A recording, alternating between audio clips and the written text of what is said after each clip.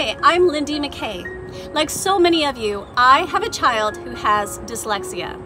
I have homeschooled from the beginning, which means I've always felt the weight of my children's education hanging over my head.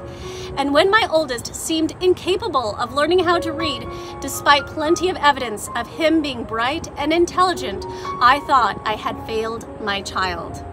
I felt insufficient, incapable, and perhaps worst of all, I felt totally alone. I didn't know where to turn. The principal of our local elementary said that if I registered my son with them, they would let him have an iPad that would dictate to him. I have an iPad. I needed solutions. One day I was talking to a close friend who opened up to me that she too had a son with dyslexia. She said something that changed my life.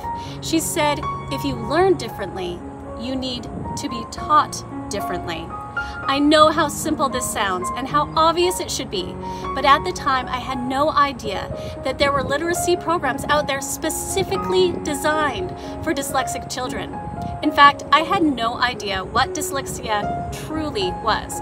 I thought it was just a little glitch where you messed up your B's and D's and saw things backwards sometimes. I had no idea how debilitating dyslexia could seem without assessments, interventions, and accommodations.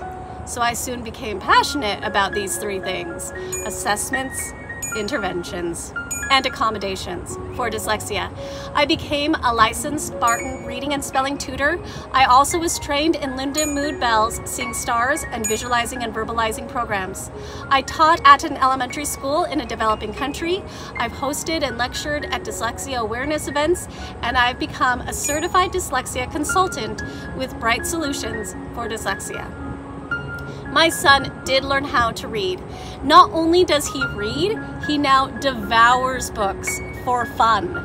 And at the age of 17 is currently attending his last university English class he will ever have to take.